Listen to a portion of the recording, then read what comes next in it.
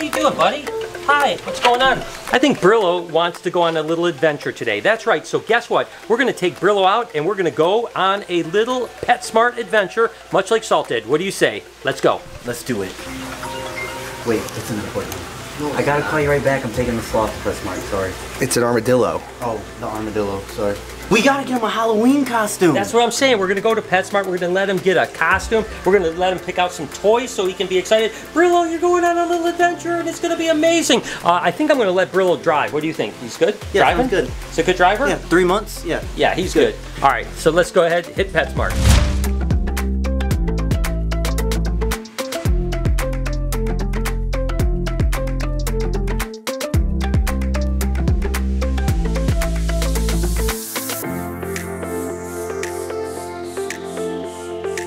Okay, Brillo, it's your, all your turn, buddy.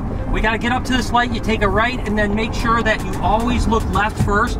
You don't wanna ever get hit, right? So, okay, take a right, and then we're gonna do the turnaround, and then PetSmart's not too far off, right? All right, slow down, slow down, slow down, Brillo. Okay, good, yeah, never wanna stop too quick, all right, buddy?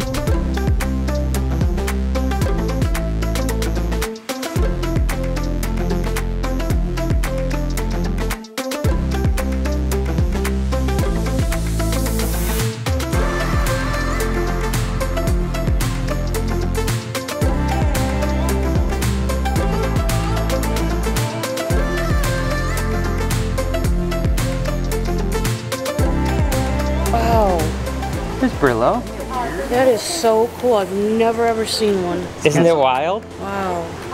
He's super friendly too. He's super friendly. Awesome. Hello. Our pleasure. Oh, are they diggers?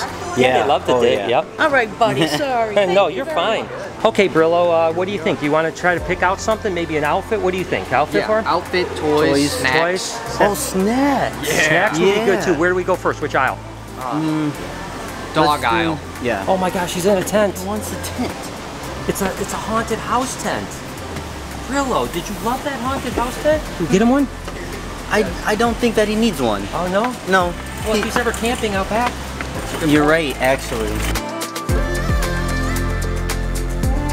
What do you think, buddy? You like it? What do you like? Like a Kong, maybe? Do you like a Kong? No? Oh, he seems to like it. I think he. No?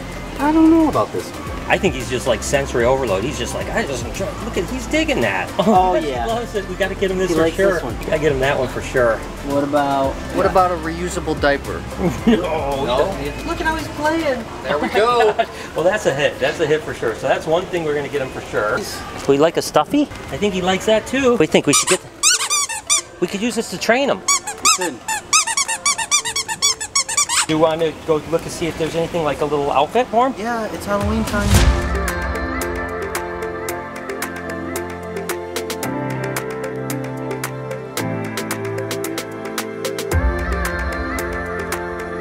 Pennywise shirt? Pennywise. No. It's too big for him anyway. That's not- that's not Friday the the 13th though. That might fit. Jason. What about that one? Oh, That's perfect. That's There we too small. Do you think it's too small? I think it So would stretch. remember, hold on. I would think like would to stretch. Uh, flashback to Salt. Oh no! Wait. she don't like that? at all. Watch out, she's fighting. All right, so uh, she, looks at- adorable. she loves Pink Floyd. Yeah. How about you guys don't pick out outfits anymore because this is the dumbest thing I've ever seen. You want to see our armadillo? I've seen it. you can pet if you want. You could put him in a scorpion. You know what would be cool? Oh, that actually would be cool. That would be so funny with the tail. Oh my God, we could probably do it. I think we could do Let's that one. try it. Yep, and then around there. Oh my God, oh. that is the best costume ever. We have to get What happened to the armadillo? It's a big scorpion. It's just a big scorpion now. Oh my God, that's it. All right, we found it. That's it. That's the costume. We got some it. toys. We got costume. We need anything else? Treats? Treats. All right, let's find treats. Come on, Brillo. This is Brillo. He's an armadillo, six-banded armadillo. You want to pet him? That's awesome. Yeah. Visit us at the Reptarium. Thanks. Yeah, visit us at the Reptarium. Thanks, guys. What else at the Reptarium? Toothless. We're getting it. Okay. I think no, we need one more costume for something. Yeah, for who? I don't know. For something. Probably Diddy and Dixie. Yeah, they want to be pumpkins. Oh, that would be a good one for them. Yeah. Well, That's that's actually smart. I think that's good. Let's get it. Okay. All right, treats. Cool, huh? Yeah. His name is Brillo. Aww. It's not so scary. You're not so no, scary. he's not scary at all. He's super cool. Aw. Look at all these dog treats. Look at all those. Those aren't dog treats. Those are armadillo treats. Yeah, you're right. What, what was I thinking? Where's the armadillo uh, section? Um, probably about right here. Ooh, training reward. We might be able to use this for some of the squeaky trains. We could bacon and cheese, quail and carrot. Ooh, that's probably good. Probably love that. Noah, what do you think? Oh, that's perfect recipe. All right, that's it. All right, are we uh, done with the Brillo to the PetSmart expose? Yeah. Oh, he loves it. Let's go ahead, uh, introduce him to the cashier, and we'll go ahead and check out and get back to the reptarium. I think this was a really good trip for Brillo. Do you think he enjoyed it? Oh, yeah, he Look loved at him. it. He wants these He wants so it bad. right now. You guys can hold him if you want. You can hold him if you want. Oh my god, I'm holding an armadillo. so cute. Wow. Thank you. no problem. Our pleasure. Oh, it's okay, Brillo. What are you doing? Oh, he's trying to curl up.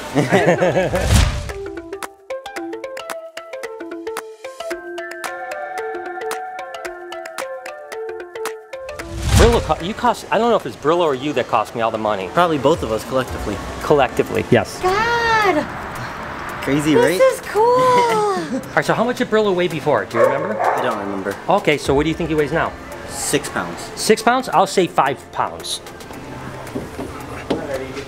Oh, 4.8 pounds. Brillo, you're getting so big, buddy.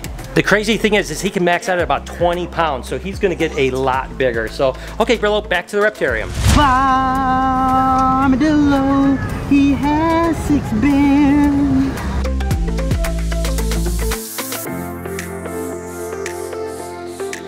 Lori's gonna be so excited about this. What do you say we show her the Halloween costume? She's gonna love it. Brillo. Lori, look what we got. Come on the ground. You love it, right? Right? That's terrifying. It's not so cute to you? Is this so cute? Hell no. Look at this. He's so cute. Show them it. No. You're ki- No! I don't want him on my lap! Oh my god. Don't Put take his back costume on. off. He likes yeah. it. I don't like it. Put his costume on, maybe. Okay. You should have got him something stupid like stop. I think it was a success, huh? It was. Do you think she liked it? I think she loved it. Okay, I think she loved it too. You did, right, Lori? No, I do not like it. Okay, She did. She did.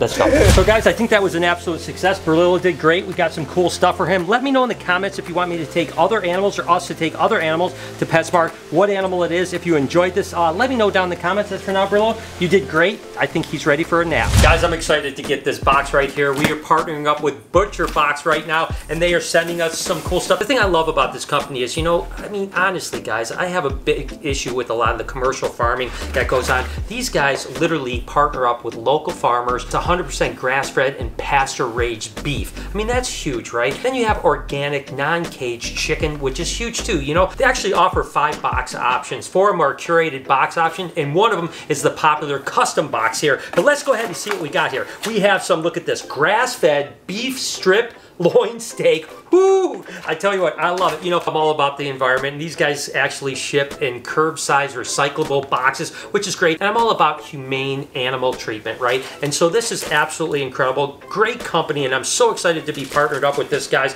And this is actually grass-fed beef fillet iron steak. Ooh, doggy. Lori's gonna love this. And uh, and then we've got, let's see here, we've got grass-fed beef sirloin tips. That looks absolutely scrumptious. Now they actually send these guys frozen at the peak of their kind of freshness, so it's absolutely incredible for sure. This is grass-fed beef boneless chuck roast. Gosh, this is good. And guess what, guys? You can actually go to the link in my description and go ahead and subscribe to Butcher Box. Right now, if you order, it's ground beef for life, meaning every box that you get for the lifetime of your membership, actually you get ground beef. That's right, they send you ground beef, and there is a ton of ground beef. Again, this is grass-fed ground beef, which just makes all the difference in flavor. Not to mention, again, it's humane animal treatment when you're talking about sustainability. Let's face it, the commercial farming is really a bummer. I am so excited to be partnering up with a company like Butcher Box. And listen, if you're concerned about pricing, to be honest with you, it's very fairly priced. And I love the fact that they're partnering with local farmers to actually provide the best quality meat without all of that extra junk that you get from the grocery store. Pork is humanely raised and fed with only vegetarian feed with the exception of milk proteins. Hey, if you're into seafood, there's wild caught salmon, cod, scallops, and haddock. Then there's Butcher Box bacon that's sourced from heritage bred pigs and is uncured, nitrate free, and sugar free. Box options and delivery frequencies fit your needs. Cancel anytime with no penalty. Guys, Butcher Box is great tasting, high quality meat that you can feel good about. And again, right now, with every shipment you get, you get ground beef for the lifetime of your membership. You can actually go to the link in my description and go ahead and subscribe to Butcher Box. Butcher Box sources from farmers and fishermen who meet the highest standard for quality.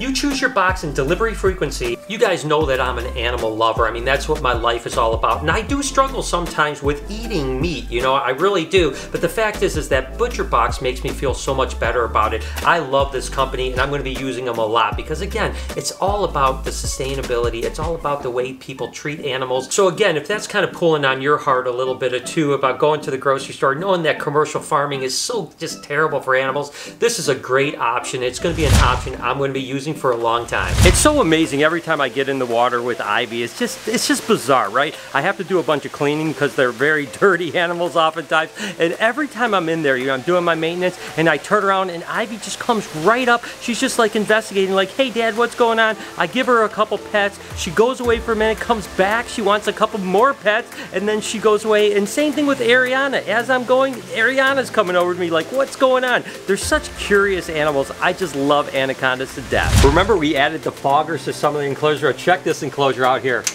Boom! That's right, these are actually the mossy frogs in here. So not only is it fogged up, but you can see the mossy frogs are right up there in the corner. There's actually five of them in here. There's only two right there, so it's just cool. I just love the way that looks. I mean, it just looks so cool, especially this particular enclosure really fills up. But take a look at Carl too, the emerald tree boa.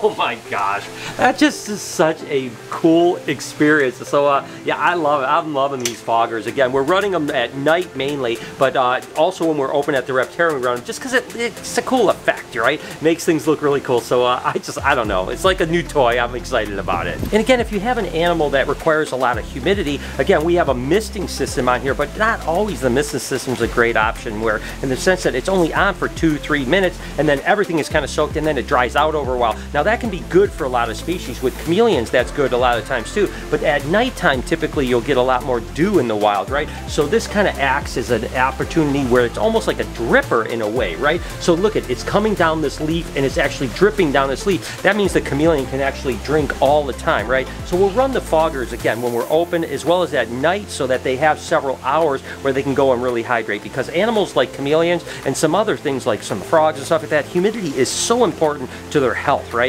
So we want to give them different options of different types of humidity. We got the sprayers, which are obviously you know going to help out a lot, but also can get too wet sometimes. And then we have the fogger that's absolutely amazing. We've only had these for several days now, and already we're seeing the animals just seem so much more vibrant, more kind of hydrated. So it not only looks amazing, but it's really working out. Back to some more baby colubrids, guys. The first clutch that we're going to show here are actually Mex Mex or San Luis Potosi king snakes. Really beautiful little Mexicana Mexicana, just a king snake from Mexico unbelievable. Or in this egg box, there's actually a second clutch that was actually a scaleless corn snake clutch. Oh, I'm in trouble. Hang on a second here, guys. Hang on, hang on, hang on a second here. Let me get these guys back in here tell you what, snakes were everywhere. So we got a little scaleless corn snake in this too. Again, there was just two clutches in this box right here, but those San Luis Potosis are awesome. Uh, I'm gonna set the camera down for one more second and put this guy back and then we'll move on to the next box. Okay, that went pretty good. These are actually really beautiful. These are actually coral snow corns, which are, of course, that high pink. And you can see already all of the pink that's coming through. Now, when these hatch out, they're not nearly as pink, but these guys are unbelievable. But as they get a little bit of size to them, they get pink as could be. And again, this is another generation of polygenically bred for the highest pink possible. So these babies should be even better than the adults which are already smoking. And then the last clutch that hatched today were these beautiful apricot Pueblan milk snakes. This year we have produced some banger apricots. I mean, just look at how absolutely beautiful those things are. And they're feisty little monkeys too. You stay in there, little buddy. Again, if you breed apricot to apricot, you get all apricot Pueblos. If you breed apricot to normal, you get about half apricots and half normal Pueblos, which is cool. But wow, I tell you these are about as good as they get. Hope you enjoyed today's video. Do me a favor if you did. Here's a playlist. Could you watch one or two of those videos? Would help me out a lot. You know what else would help me out? You could subscribe to this vlog channel right over here. It means the world. We have an absolutely wonderful day, Reptile Army. Remember, be kind to somebody, and I promise I'll see you in the next one.